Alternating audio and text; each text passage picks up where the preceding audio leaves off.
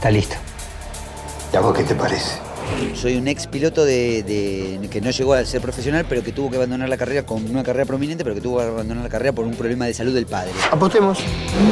La leyenda contra mi auto. Se manda un moco, apuesta algo que no tiene que apostar y después tiene que salir a buscar un, un- un montón de plata y entonces la conoce a la nena, ofrece un trabajo, hace de la ingeniera del grupo, del equipo de Chevrolet, que tiene que elegir dos pilotos nuevos porque los dos campeones ya se van a Europa. ¿Y cómo es tu relación con Vallejo? Extraordinario.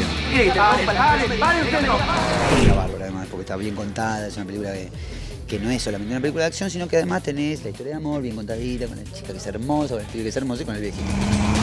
¿Dónde está la leyenda?